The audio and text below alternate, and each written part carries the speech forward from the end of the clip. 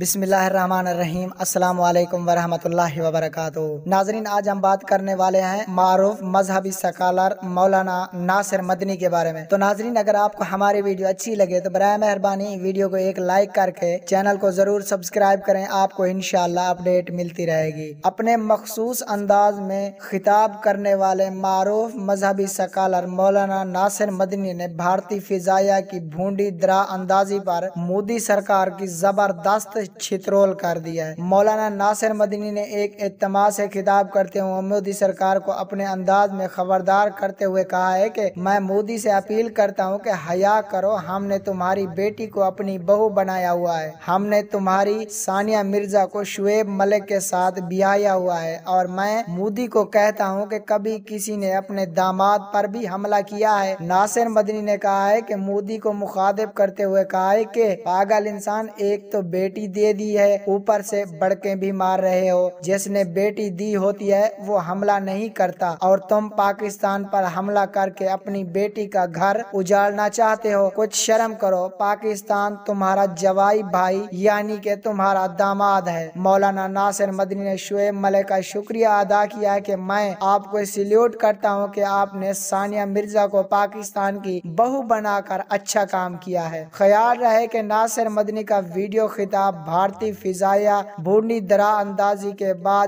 کی گئی ہے، جبکہ اس کے بعد پاکستان نے سرپرائز دیتے ہوئے گزشتہ روز بھارت کے دو طیارے مار گرائے تھے، جبکہ دو پائلٹ بھی گرفتار ہوئے۔ ایک تو ملا نہیں، ایک کو گرفتار کر لیا ہے۔ اور آج یہ ان کے بارے میں یہ بھی خبر آ رہی ہے کہ اس پائلٹ کو جو گرفتار کیا گیا ہے، اس کو آج رہا کرنے کا حکم دیا ہے۔ عمران خان نے۔ پارلیمنٹ اجلاس میں انہوں نے خطاب کرتے ہوئے کہا تھا کہ ہم جو پائلٹ گرفتار کیا ہے، اس کو ہم آج رہا کریں گے۔ تو یہ دیکھا جا سکتا ہے کہ عمران خان کے اس بیان پر اس بھارتی پائلٹ کو کب کتنے بجے کہاں یا واگا بارڈر کس ٹائم پہ کہاں سے رہا کیا جاتا ہے، جیسے ہی کوئی خبر سامنے آئی وہ ہم آپ کو ویڈیو میں ضرور شیئر کریں گے۔ تو ناظرین، اگر آپ کو ہماری ویڈیو اچھی لگے تو برائے مہربانی ویڈیو کو ایک لائک کریں، چینل کو سبسکرائب کریں اور ویڈیو کو ضرور شیئر کریں۔ شکریہ، اللہ حافظ۔ says